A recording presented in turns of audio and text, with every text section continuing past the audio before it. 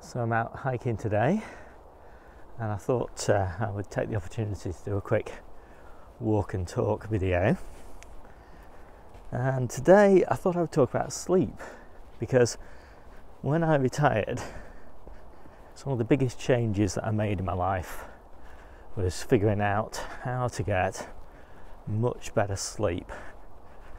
And there's quite a few things that I did, and they all kind of contributed. I'm not sure what the relative importance of the different things are. You can pick and choose and try some of them out maybe. So the first one is I always try and get up at exactly the same time in the morning. When I say exactly, I mean sort of within about 20 minutes or something like that. And ideally, I like to wake up before I have any sort of alarm clock or anything like that that wakes me up. So I've done a few things to help me with that. And the simplest one really is light. So I have one of those kind of sunrise kind of alarm clocks that just gradually starts to brighten the room up before my intended wake time. And so, generally speaking, you know, it's at full brightness just a few minutes before the alarm goes off and I'm awake just a few minutes before the alarm goes off. And as I say, I try and always wake up at the same time in the morning, no matter what time really I go to bed at night. And that seems to be pretty important in terms of making sure that you sleep better the following day. And then the next thing that I try and do is make sure that as soon as possible, really, after waking up, I get lots of really bright light. And that's really easy to achieve by going out for a walk in the morning when the sun is up. But since I wake up normally about seven o'clock in the morning, it's dark. So I can't get that early morning light. And so what I actually did, it's kind of relevant to gardening, is I have this grow light that shines down on top of the wardrobe in the bedroom.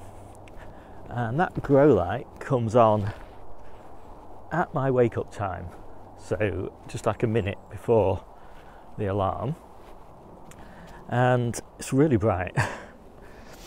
And so I kind of wake up and get dressed and brush my teeth and all that while that grow light is really blasting out and of course on top of that wardrobe is a lot of my seedlings.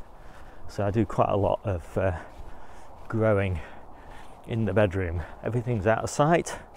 On top of the wardrobe you can't really see it. Doesn't get in the way of anything. It's only kind of useful. No downside at all to it. So I really like that. But uh, when the timing's right I generally go for a walk along the beach first thing in the morning and get a good dose of the sun rising.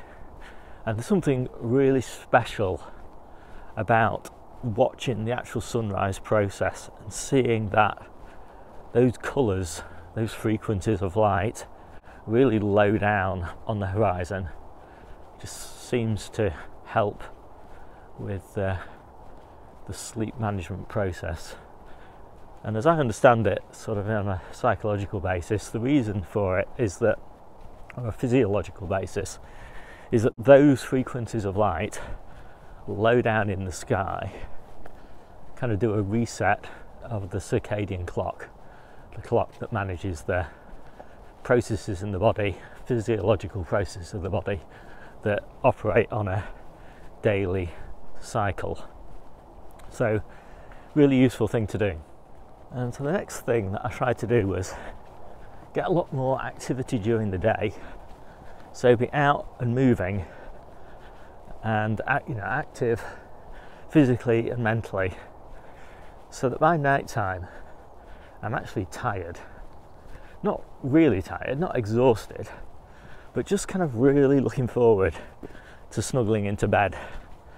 And you know, when I wake up in the morning, I'm fully restored so it's that sort of tired, that kind of good tired, you know, the tired that tells you that you've had a good day, that you've filled it with uh, productive, you know, challenging activities.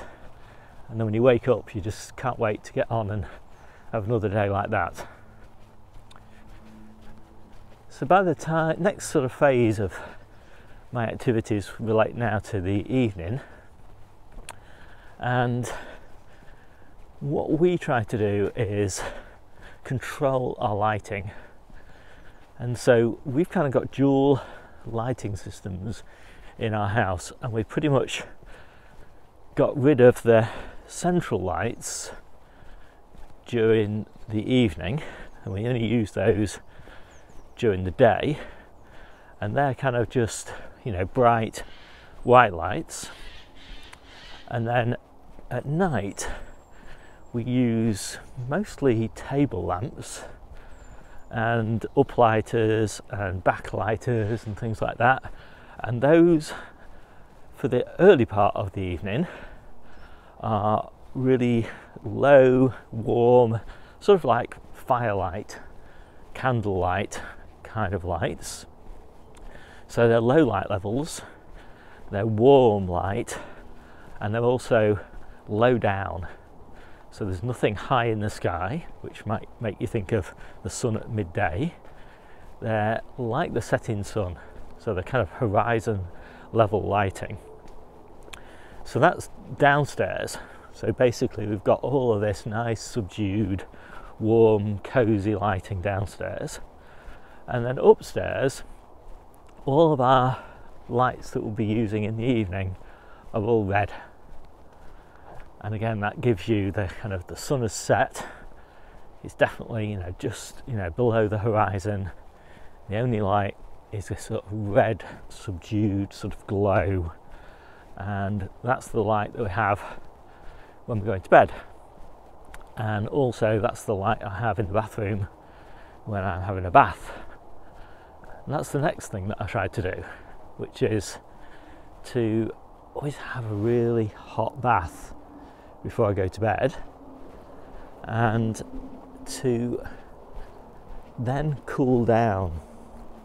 And it's, as I understand it, again, physiologically, it's that cooling down process that helps you sleep. And of course, there's nothing better than getting out of a hot bath and then cooling down. And what I tend to do is just read then in bed uh, with no covers on and so I just you know cool down really rapidly. And as soon as I get to that point where there's just a slight bit of kind of mild discomfort because it's that cold then uh, I jump in bed and I'm asleep within two or three minutes. And in order to kind of really embrace the heat of the bath I read in the bath for about an hour before I go to bed. So the final thing that swings to mind relating into getting into sleep at night is that I try and have a really rigid going to bed routine. And that tends to be, as I said, you know, bath, read, get out of bed, get out of the bath, read, sleep. So the next thing that springs to mind is that I really I think it's important not to eat within about three hours of going to bed. So since I go to bed about 10, 10.30, 11 o'clock, something like that, I like to stop eating at about 7 o'clock at night. So the next thing is once you kind of got to sleep, is that you want to get into deep sleep as quickly as possible because deep sleep is incredibly restorative and important. And so you want to get into it as quickly as possible and stay in it for a fairly long time. And the best way to do that is, I think, to have a cool bedroom and a cool bed. Now, in winter, it's not too difficult to have a cool bedroom, just to have the heating on and open the windows during the day. So you've got lots of lovely fresh air. And that cooling down process in bed is really great from the perspective of getting you into deep sleep. In summer, that's a bit trickier. And so I've got what's called an Ooler, which is a kind of cooling mattress topper, and it has cold water running through it, and it cools the bed, in my case, down to about five to seven degrees centigrade below room temperature. And often in summer, that is actually not enough for me, but it's as good as this little thing will do. But it certainly means that when you get into bed, it feels cold and you can really snuggle in and wrap yourself up in the covers and uh, you know just feel really safe, snuggly and secure and cold. But you soon body soon warms up and responds. But anyway, I'm asleep by then, so within two or three minutes, I'm asleep. Now, although lots of people will tell you you need eight hours of sleep, I generally don't get that. I find I just wake up naturally at about between seven and seven and a half hours. But that seems to leave a great opportunity for me to have a nap in the afternoon. So when I get back from this hike, it'll be about two o'clock, and I will generally have a nap at about three o'clock. And I have a nap for 34 minutes because it takes me about four minutes to fall off to sleep. So have about a 30 minute nap. Now, some people find that they're too groggy when they wake up from a 30 minute nap, and maybe 22 minutes might be better, or 24 minutes. But for me, I'm fine as long as I kind of get up and do something uh, as soon as I wake up from the nap, then uh, I'm absolutely fine. And whilst I really like going to sleep in the cold, I do like having my nap in a completely different way. So I, I lay down in the on the sofa in my conservatory, and I love it when the sun's out and it's really warm in there. And obviously, I don't wrap myself up in any covers or anything because I'm fully dressed. So uh, yeah, I just I just love lying there in the sun. It's like sunbathing and uh, falling off to sleep lovely and warm. And I think there's something nice about that contrast between the evening and the afternoon nap. You know, that makes them, they're not the same thing. So the body seems to respond, the mind, perhaps more importantly, seems to respond differently to a nap. It knows that it's going to wake up pretty quickly now, I don't happen to be sensitive to caffeine, so I can drink caffeine no problem at all, and it doesn't affect my sleep. But if it affects yours, then maybe don't have caffeine after about two o'clock in the afternoon. But of course, sleep doesn't always go right. So, what happens if you can't get to sleep? And this definitely would happen to me a lot in my working life that my mind would just be a buzz with ideas or problems or something like that. So I just recommend if that's happening to you, get up, get a piece of paper, write down everything that's currently kind of in your head and get it out of your head onto the paper. And then you probably will never need to look at that piece of paper again because you know you're just thinking of potential issues and whatever they're often not really relevant by the time you wake up in the morning. But uh, now that I'm retired, obviously I don't kind of generally have that problem so much. I tend to have more of a problem when I'm not very well. And when I'm not very well, what I try to do is embrace it. So recently I've had a really bad cough and I just couldn't get to sleep. So I would stay up later in the night so that I was a lot tireder. So rather than going to bed at say half 10, I go to bed at half 12.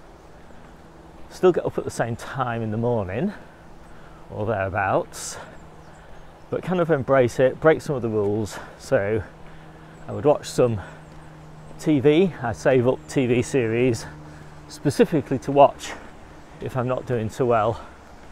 And uh, so during this period, about two weeks, I watched Money Heist and uh, had some of my favourite snacks, things like fresh cherries, for example.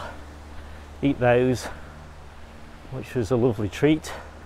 And I found that combination of staying up late, watching some great TV, eating my favourite foods, you know, it's kind of made it a bit like an event, something to maybe not quite look forward to, but certainly balance out the negative of being ill. Go to bed late, and because I was extra tired, I would uh, still then manage to get off to sleep. Sometimes I did wake up in the middle of the night, not illness related, just uh, sometimes like a strange dream that got stuck in my head or something like that, or something that woke me up. Struggled to get off to sleep again. So after about 15 minutes, maybe 20 minutes, again, I would just recommend getting up and kind of repeating that routine, you know, go downstairs, watch a favourite TV show, read a favourite book, something like that, and then an hour later, go back to bed, fully kind of reset, and uh, you get off to sleep again. Much better than you would if you were just lying there, tossing and turning. So, generally, that principle bed is for sleeping, it's not for tossing and turning. If you can't sleep, get up. So I have a few gadgets that I think are useful. As I mentioned, I've got this Ooler cooling mattress. I've got this amazing quilt, which I absolutely love, that works well with the cooling mattress because when you've got a cooling mattress, it's important to keep your the cold in the bed. So, so even in summer, I have this quite nice warm quilt which insulates me from the warm air outside of the uh, outside of the bed environment, which I highly recommend. And I've got these really cheap and cheerful um, wireless switches, which I use to switch on all the kind of table lamps and things like that in the rooms. And I just have those blue tacked actually to the actual light switches. So the light switches are what I use to put the main central lights on, but then I've got these wireless switches to put the multiple low level lights on. And then I make a lot of use of the Wi Fi plugs, which uh, are also timers, and they're absolutely brilliant for switching on my. Uh, grow lights, you know, at seven o'clock in the morning, and for switching on sort of like LED lights and things like that that we've got in various places around the house, which automatically come on uh, as the sun sets and things like that. And all these gadgets I've actually got now in my Amazon store if you're interested in any of them and the Ooler, that heat mattress cooler in particular, is quite expensive, but honestly, it's just been transformative in terms of improving my sleep, sleep quality. And I even use it in winter because I, I really like my bed to be about 15 degrees centigrade, and the bedroom, even though it's unheated, tends to be about 18 degrees. So I use it just to drop the temperature just a little bit but in summer, I try to get the temperature down about 11 degrees centigrade, and uh, yeah, that really helps. So, having mentioned gadgets, it's just struck me that maybe I should mention tracking your sleep, and I have done that. I think the I have an Apple Watch right now. Doesn't do a particularly good job of sleep tracking. The Fitbit Versa 2, I think, that I had before that did a much better job of sleep tracking. And I did find that useful when I was kind of looking at the effect of things like the cooling mattress and some of the other things that I've tried out that really significantly improved my sleep quality. And I could see that you know, very clearly in the sleep tracking data. Nowadays, maybe it's just because I have an Apple Watch that doesn't do a very good job of sleep tracking. Uh, I don't worry about it so much. I don't feel like I've lost anything as a result of that. And I think it's because I've just basically got my sleep uh, dialed in now. So I find that provided I do the things I've just talked about in this video, give myself an eight, eight hour sleep window, then I'm pretty much always just fine, feel great. So uh, I don't really bother now with any kind of sleep tracking. My body seems to tell me when I'm doing a good job and when I'm not. So, hope you like this walk and talk video. My name's Steve. This is the Seaside Kitchen Garden and Allotment channel, and I'll see you soon. Right, it's time for breakfast, and this is a great place for it.